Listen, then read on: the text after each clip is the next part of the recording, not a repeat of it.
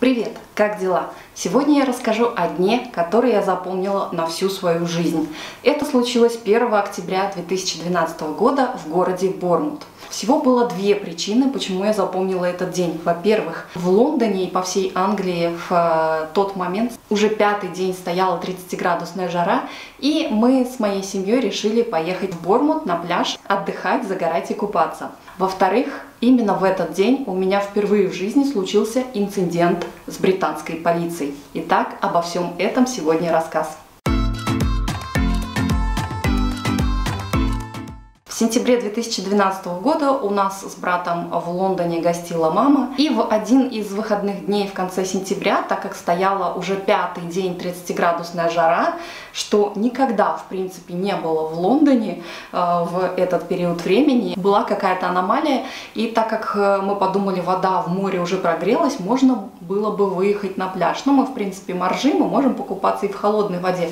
Но, когда мы приехали в Бормут, мы увидели, что абсолютно все побережье заполонено людьми, и все, даже арабы в своих бурках и индийцы в своих сари э, выехали на берег моря, чтобы позагорать и покупаться. Даже теплолюбивые нации заходили в море и э, с удовольствием бултыхались в теплой на тот момент воде. Мы также покупались, позагорали, и я взяла свою камеру как типичный репортер. На тот момент я уже работала для прессы. Но так как я просто люблю фотографировать абсолютно все и всегда старалась э, каждую нашу поездку запечатлеть как можно больше моментов, я взяла камеру и стала фотографировать такой шикарный день просто огромное количество людей, все довольные, счастливые. Середина осени, можно еще позагорать и покупаться. Просто все э, сияли от счастья. Я тоже. Я стала фотографировать людей, как они э, развлекаются, во что играют, там то в ракетки какие-то, бомбинтон, то в мячик, то еще кто-то. Потом увидела на берегу, рядом с кромкой воды, которая приливала и отливала, детская ведерко с совочком, брошенное на пляже. Я прямо сидела на своем месте и со своего места все фотографировала. Приближала камеру, пыталась сделать красивый вид, когда вода приливает, там сияет солнышко, в общем, переливы все эти. И долго, достаточно долго фокусировалась на этом моменте, старалась ухватить красивый кадр сделать, и чтобы еще там никого не было, в общем. Как фотограф доводила до перфекционизма. А мужчины там проходили в шортиках с бутылочками чего-то, там тоже меня увидели, попозировали мне так в камеру. Хо-хо! В общем, было как-то интересно, весело, живо так, все классно. А, и тут ко мне подходят полицейские. Я такая с камерой сижу на своем полотенчике, и они говорят, покажите вашу камеру, а, ну, фотоаппарат. Я на тот момент плохо еще знала английский, но как бы я поняла, в чем дело, что они хотят проверить, что я там нафотографировала. А, я говорю брату, Стас, помоги мне. Он говорит, не-не, разбирайся сама. Я, я вам говорил не фотографировать, а он не любил, когда мы с мамой фотографировали прямо все подряд. Я вам говорил, не, не надо фотографировать, вот теперь разбирайся сама. Ну, я встала, показала камеру, э, подошли мужчина и женщина полицейские, и в Англии принято, если к женщине, то женщина должна общаться и как бы разбираться с женщиной. Она взяла мой фотоаппарат в руки и стала смотреть, э, что у меня за снимки, и в этот момент спрашивала, откуда я, что я тут делаю, зачем приехала. Я говорю, я из России, турист, э, ну, я уж не стала вдаваться в подробности, что я приехала учить язык и так далее. То есть все, что могла на тот момент я сказать, сказать, я сказала. И она говорит, у вас вот это, вот этот кадр надо удалить, вот этот кадр надо удалить, вот этот кадр. И вообще перестаньте фотографировать на пляже. На вас поступила жалоба, а, то, что вы мешаете отдыхать людям. А на кадрах, которые она просила удалить, были дети. И просила вот удалить вот эти фотографии, я прям при ней удалила. И с тех пор я задумалась, как же так, почему нельзя фотографировать людей на пляже. Абсолютно у всех есть телефоны, абсолютно все все фотографируют. И, ну да, у меня была камера, которая, где я оперировала зумом, видимо, кто-то увидел, что я приближаю, удаляю, там как-то э, подумали, что я крупно снимаю какие-то части тела или еще что-то. Да, в Англии запрещено фотографировать э, детей до 14 лет без разрешения их родителей или их опекунов. Как-то они это связывают с педофилией, что я могла отправить эти снимки куда-то там для педофилов, и они бы там развлекались и так далее. Не знаю, дети в Англии все абсолютно одеты в купальники. Э, никто, даже двухлетний, не купается голышом, не ходит по пляжу голышом. Вот у них такая особенность. Э, насколько я знаю, педофилам нужны голые снимки. Ну и помимо этого там куча другого народу, кому, зачем, как я могла продать эти снимки. В общем, для меня до сих пор остается таким большим вопросом, как можно продать снимки детей, которые, ну, как бы не голые, да, педофилам. И вообще, как это все в мир цифровых технологий, где тебя любой может сфотографировать на улице, мимо проходя, и даже сами дети, и взрослые, абсолютно все сейчас э, в социальных сетях выставляют абсолютно все.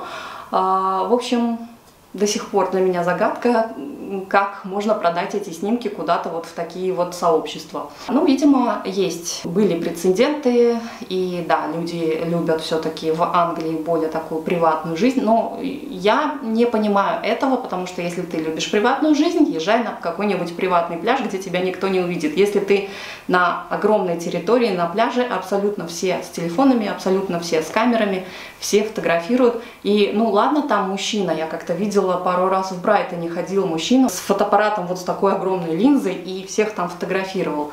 И никаких вопросов ни, у людей это не возникало. А я э, как бы женщина, фотографирую, сидя на пляже, я не выискиваю кого-то, а вот просто все подряд.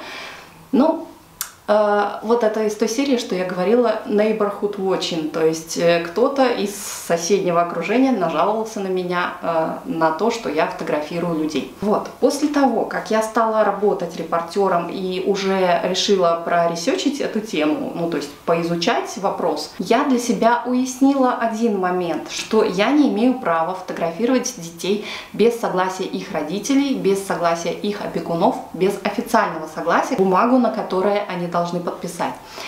Да, это так, если ты фотографируешь для рекламы, для каких-то своих э, проектов, для каких-то э, нужд. Э, если ты пресса, ты имеешь право снимать людей, абсолютно всех, и, и людей, и детей в толпе на мероприятии, на общественном пространстве.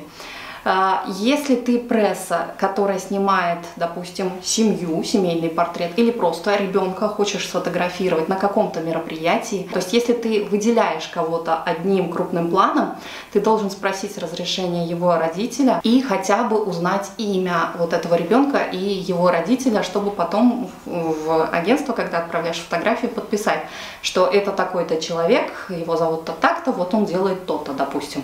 А, тогда эти фотографии могут опубликовать в твоем агентстве. Если ты не подпишешь, то уже спорный вопрос. Могут опубликовать, могут нет. Чаще всего редактора вот этих вот э, пресс-фотографий смотрят на визуальный контакт эм, взрослого. Если э, взрослый смотрит в камеру, значит он в принципе дал тебе твое согласие на съемку как себя, так и ребенка. И многие, в принципе, и англичане, и другие нации, проживающие в Лондоне и в Англии, э, были не против, если я всегда, я чаще всего спрашивала, а можно сфотографировать, потому что, в принципе, мне же еще и кадр надо выставить, а не просто так где-то уловить кого-то.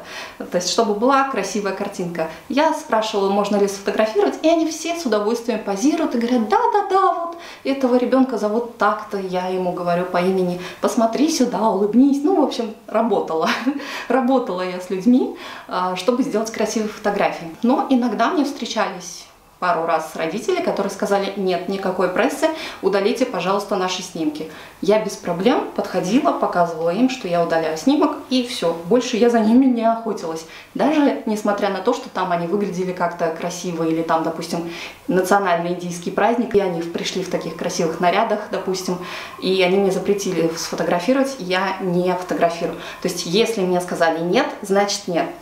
Ну а так, по большому счету, у меня больше никогда не было проблем с пресс-фотографией, потому что я уже изучила все правила по съемке, и в принципе один раз у меня еще был инцидент э, с полицией, когда я пришла фотографировать э, памятное событие в честь э, жертв теракта 2005 года, и мне полицейский говорит, здесь запрещена съемка, вы что, не знаете, в Королевском парке, а это был гайд-парк, съемка запрещена.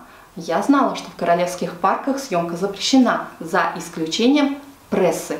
Пресса может фотографировать абсолютно все события в любом из парков. Я ему это сказала. Он как-то так засомневался, то есть он знал, что в Королевском парке снимать нельзя, но э, за исключением прессы. Э, записал себе на карандаш выяснить этот вопрос и сказал, хорошо, э, мы тебе разрешим снимать, если э, тебе разрешат организаторы мероприятия. Я подошла к организаторам, они сказали, да, без проблем снимай, но только не внутри мероприятия, а издалека. Я говорю, no problem. Пошла, встала, и после этого, когда я опубликовала стихотворение одного из участников этого мероприятия, который написал вот памятную дату, он же потом запросил у моего агентства разрешение скачать этот ролик для себя, э, ну и я дала согласие. За бесплатно у него есть вот такой вот шестиминутный ролик с его исполнением э, стихотворения, его собственного сочинения вот в эту памятную дату. Так что вот так, очень много законов, которые мы не знаем э, в других странах и которые могут привести тебя к печальным последствиям и чуть ли там не до ареста доходит. Э, поэтому будьте осторожны, проверяйте э, все правила жизни э, той страны, куда вы едете. И, ну, если кто-то знает ответ, почему э, детей до 14 лет нельзя фотографировать в связи вот с, этой, с этим направлением педофилии, Пожалуйста, напишите в комментариях, потому что для меня до сих пор вопрос, как эти снимки можно использовать в этом направлении. Пока на этом все. Я прощаюсь с вами. До новых встреч.